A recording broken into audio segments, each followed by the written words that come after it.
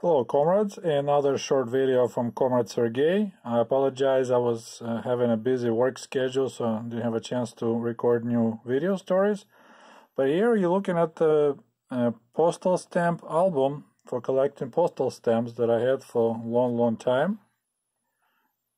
It's kind of this fake leather. And this is one of the oldest stamps that I own from 1978. I mean, I have older ones, but that's the ones when I when I started collecting stamps. I was about seven, so it's 1978, and I was specializing in flora and fauna. So that's uh, animals and plants. So that's I collected Soviet stamps and foreign stamps. So you see, a lot of them CCCP, SSSR.